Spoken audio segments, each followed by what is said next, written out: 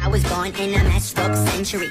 My favorite flavored sweets are raspberry and amphetamines. I bought a carburet at age 16. I brush my teeth with bleach cause I ain't got time for cavities. My daddy put a gun to my head. Said if you kiss a boy, I'm gonna shoot you dead. So I tied him up with gaffer tape and locked him in a shed. Then I went out to the garden and I fucked my best friend cause my...